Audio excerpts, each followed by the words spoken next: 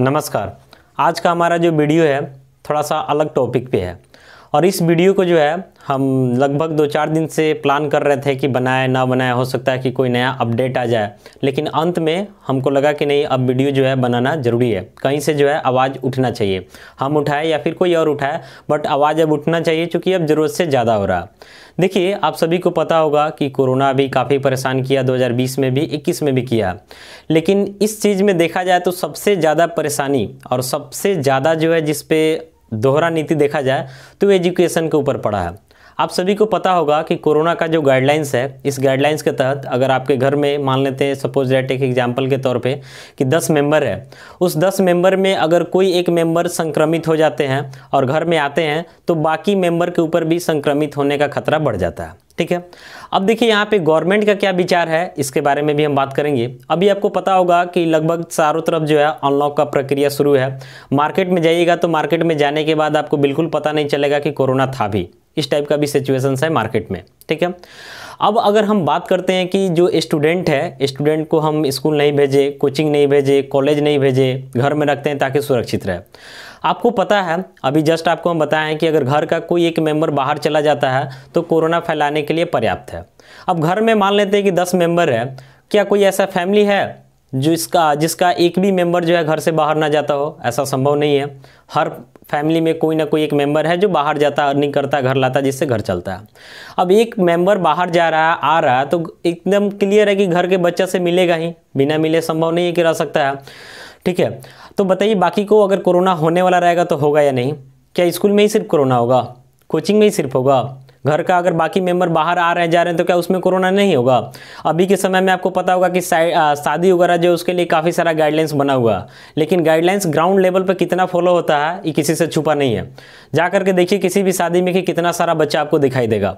क्या बच्चा को वहाँ कोरोना नहीं हो सकता है? इसके अलावा अभी बंगाल वगैरह में जो रैली चल रहा था, उसमें हम मान लेते जूनियर बच्चा का बात नहीं करते, सीनियर बच्चे का बात करते हैं तो जो रैली में काफ़ी सारे बच्चा जो है जा करके शामिल होते थे, सीनियर सीनियर स्टूडेंट लोग, क्या उनको वहाँ कोरोना नहीं हो रहा था? उसके अलावा अभी आप मार्केट में चले जाइए तो क्या मार्केट में आपको बच्चा नहीं दिखेगा? हम लोग भी मार्केट में भी फ़िलहाल कभी कभी मौका मिलता तो बाहर जाते हैं। हर जगह लगभग अच्छा खासा स्टूडेंट का मात्रा दिख रहा लेकिन कोरोना कहाँ होगा? तो सिर्फ़ स्कूल में होगा या सिर्फ़ कोचिंग में होगा। बाकी दूसरे जगह कोरोना नहीं हो सकता है सरकार के अनुसार। कहा जाता है कि किसी भी कंट्री को या फिर किसी भी आ, कोई भी पार्टिकुलर रीजन है अगर उसको आगे ग्रो करना है तो उसमें एजुकेशन का बहुत बड़ा रोल होता है। और पीछे भी ले जाना है तो वहाँ भी एजुकेशन का ही रोल होता है। यानी एजुकेशन को चौपट कर दीजिए ऑटोमेटिक चौपट हो जाएगा, एजुकेशन अच्छा रहेगा तो ऑटोमेटिक आगे जाएगा।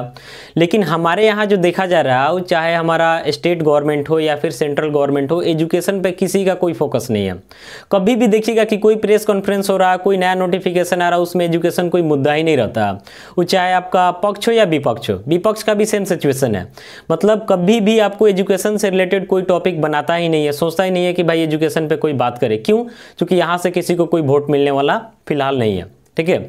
एजुकेशन से कोई ज़्यादा सरकार को टैक्स भी नहीं मिलता है। बस एजुकेशन से सरकार को एक चीज़ का ज़रूर दिक्कत है कि अगर ज़्यादा कोई पढ़ लिख लेता है, अपना डिमांड करेगा तो उस सिचुएशन में सरकार को प्रॉब्लम होगा। और आपको पता है कि हमारे कंट्री में एक चपरासी बनने के लिए भी कितना अच्छा खासा योग्यता का ज़रूरत पड़ना, पड़ता है। लेकिन आप बिना पढ़े लिखे मतलब अंगूठा छाप है तो भी आप प्राइम मिनिस्टर बन सकते हैं। हमारे यहाँ ऐसा रूल है। तो आपको पता होगा कि जो आदमी पढ़ा लिखा है, पढ़ाई करता है, उसको रियलिटी में पता होता है कि भाई इसमें क्या क्या संकट है, कैसे क्या होता है मतलब प्रैक्टिकल बिल्कुल अलग होता। है लेकिन जो पढ़ा लिखा नहीं है, उसको क्या पता चलेगा? हमारे यहाँ तो मैक्सिमम लीडर हमको लगता है कि 80 परसेंट से ज़्यादा लीडर आपको मिलेंगे, जिनको पढ़ाई से कोई मतलब ही नहीं होता। उनका आगे वाला जनरेशन भी पढ़े ना लिखे, विशेष कोई मतलब नहीं पड़ता, चूँकि एक बार इतना कमा करके रख देते हैं कि अगला कितना जनरेशन जो है देखते जाएगा उसको। तो वे लोग दूसरे के बारे में क्यों सोचेंगे? बस वही चीज़ हमारे यहाँ दिख रहा कि अभी जितना भी ज़्यादा मतलब पता नहीं कि एजुकेशन को क्या होगा, समझ से बाहर है। कोरोना जब शुरू हो रहा है, उससे काफ़ी पहले एजुकेशन को बंद कर दिया जा रहा है और थोड़ा सा सिचुएशन नॉर्मल भी हो रहा है, तभी इसके ऊपर कोई फोकस नहीं किया जा रहा है। अगर आप उतना एजुकेशन को लेकर के मतलब जागरूक रहते तो आप क्या करते, वैक्सीनेशन पे फोकस करते, जल्दी वैक्सीन वगैरह अवेलेबल कराते। बहुत सारा कंट्री है जहाँ पर वैक्सीन वगैरह अवेलेबल हो चुका है, पढ़ भी गया और वहाँ के क्लासेस चल भी रहा है। लेकिन हमारे यहाँ ऐसा कुछ बिल्कुल नहीं है। क्यों? चूँकि हमारे यहाँ एजुकेशन जो है सबसे लास्ट पायदान पर आता है। यानी यहाँ एजुकेशन से विशेष किसी को कोई मतलब नहीं है। मीडिया को भी देखा जाए तो मीडिया भी एजुकेशन वाले मुद्दे पे जो है बिल्कुल खामोश रहती है। क्यों? चूँकि इससे उतना ज़्यादा टीआरपी वगैरह मिलता नहीं है। जहाँ तक बोर्ड एग्ज़ाम के बारे में बात किया जाए तो बोर्ड एग्ज़ाम में एक दो ही बोर्ड एग्ज़ाम है। जैसे बिहार बोर्ड का बात करते हैं, अपना एग्ज़ाम ले लिया, जैसे तैसे फॉर्मेलिटी पूरा कर लिया। लेकिन इसके अलावा बाकी बोर्ड को देखा जाए तो लगभग आपका सीबीएसई हो या फिर स्टेट बोर्ड हो, लगभग जो है सबका एग्ज़ाम कैंसिल हो गया। कैंसिल हो गया। अब बच्चा को भी देखा जाए तो जो बच्चा पढ़ा लिखा था अच्छा मेहनत किया था, उसको प्रॉब्लम है। लेकिन जो ज़्यादा नहीं पढ़ा था, खुश है। उसको अभी पता नहीं चल रहा। उसको तो अभी लग रहा है कि चलो भाई बोर्ड एग्ज़ाम पास कर लिए। लेकिन इसका खामियाजा आगे कैसे भुगतना होगा, ये आगे ही पता चलेगा। लेकिन इस पर भी देखा जाए तो हमारे तरफ़ से बिल्कुल लग रहा है कि अभी जो भी इंटरमीडिएट और टेंथ के एग्ज़ाम को कैंसिल किया गया, इसके पीछे भी राजनीति है। क्यों? चूँकि अगला एग्ज़ाम अगला रिज़ल्ट जो आने वाला है, यानी अगला जो इलेक्शन होने वाला, उस समय बच्चा सब जो है एटीन को क्रॉस कर जाएगा और आगे वोट के तौर पर सरकार के लिए काम करेगा। ठीक है? तो हमारे यहाँ जो भी प्लान किया जा रहा है जो भी चीज़ चल रहा है सारा का सारा एकदम इलेक्शन के बेसिस पे दिया जा रहा है। मतलब सरकार को कोई भी डिसीज़न लेना, कुछ भी करना तो उसके सबसे पहले देखता है कि इसमें हमारा फ़ायदा क्या है, इसमें हमको वोट क्या मिलने वाला है। अगर इसके दृष्टिकोण से सही लगता है तो फैसला लेगा, नहीं लगता तो नहीं लेगा। अगर सरकार को एजुकेशन के प्रति मतलब थोड़ा भी लगाव रहता तो ऐसा नहीं करता। अभी के समय में आप मार्केट में जा करके देखिए, जहाँ भी अनलॉक हो चुका है, आपको मार्केट में देख करके थोड़ा भी पता नहीं चलेगा कि यहाँ कोरोना वगैरह है अभी। लेकिन वहीं स्कूल में बच्चा चला जाए, कोरोना गाइडलाइंस को पालन करते हुए भी चला जाए तो वहाँ कोरोना हो जाएगा। घर का बाकी मेंबर बाहर जा रहे हैं, कोई दिक्कत नहीं है, लेकिन घर का बच्चा जी है मार्केट जा रहा, कोई दिक्कत नहीं है, शादी में जा रहा, कोई दिक्कत नहीं है, सारे फ़ंक्शंस में घूम रहा, कोई दिक्कत नहीं है, लेकिन स्कूल कोचिंग कॉलेज चला जाए तो वहाँ पे दिक्कत है। हम मान लेते हैं कि जूनियर जो बच्चा है, जो ज़्यादा छोटा बच्चा है, जैसे मान लेते हैं एट क्लास से नीचे उसका क्लास जाने में रिक्स है। लेकिन जो एट क्लास ऊपर का बच्चा है, उसको तो जाना चाहिए भाई। उसको कोरोना गाइडलाइंस के साथ फिफ्टी कर देते फिफ्टी नहीं होता ट्वेंटी बच्चा को भेजते। बहुत सारा गाइडलाइंस है जिसको फॉलो करा करके काम किया जा सकता है। और एक टीचर से ज़्यादा गाइडलाइंस कौन कर सकता है? स्कूल में जितना मतलब रूल रेगुलेशन फॉलो होता है, उतना हमको नहीं लगता है कि किसी दूसरे जगह होता है। अगर स्कूल में आप गाइडलाइंस बढ़ाइए, आप चेक करिए कि हाँ सही में प्रॉपरली जो है कोरोना का गाइडलाइंस फॉलो हो रहा है या नहीं। अगर हो रहा है तो उसको प्रॉपरली चलने दीजिए। एक के साथ सबको क्यों मतलब घुमा रहे हैं? जहाँ तक बात किया जाए ऑनलाइन ऑनलाइन तो ऑनलाइन हमारे सरकार के लिए एक बस बहाना बनकर आ गया।